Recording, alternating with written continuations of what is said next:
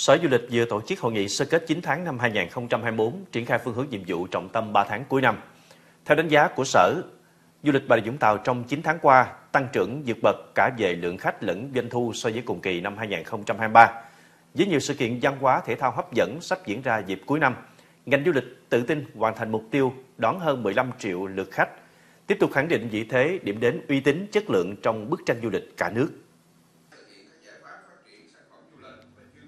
Du lịch Bà Rịa Vũng Tàu đang tăng trưởng vững chắc nhờ thương hiệu du lịch biển đã in đậm dấu ấn với du khách nội địa. Bên cạnh đó, tỉnh cũng liên tục đăng cai hoặc phối hợp tổ chức hàng loạt sự kiện văn hóa thể thao quy mô cấp tỉnh, khu vực lẫn quốc gia, kéo du khách đến với tỉnh sải đều các ngày trong tuần, không còn tập trung vào các dịp cuối tuần, lễ Tết như trước.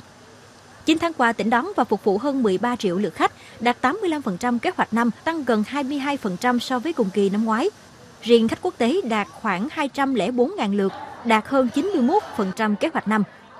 Khách tăng giúp doanh thu du lịch đạt hơn 14.100 tỷ đồng, tăng 23% so với cùng kỳ. Trong những tháng cuối năm là mùa du lịch thấp điểm, Sở Du lịch tập trung truyền thông quảng bá du lịch Bà Rịa Vũng Tàu trên nhiều kênh truyền thông trong nước và quốc tế, tăng cường tổ chức và phối hợp tổ chức các chương trình sự kiện nhằm thu hút khách du lịch như cuộc thi Nam Vương Thế giới 2024,